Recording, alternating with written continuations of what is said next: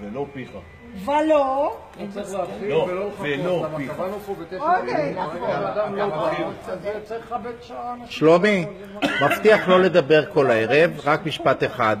כשהגענו אה, למלון, אז ראיתי אותך עם החיוך, ואמרתי לך, אה, יש בך משהו מיוחד, אני רוצה להכיר אותך, ואז אתה ענית לי, יש לנו הרבה על מה לדבר. אז אמרתי, אבל אני לא ראיתי אותך בקבוצה במטוס, אבל אני כן ראיתי אותך כבר בקבוצה בוואטסאפ, והנשמה שלך דיברה אליי עם החיוך הנהדר שלך.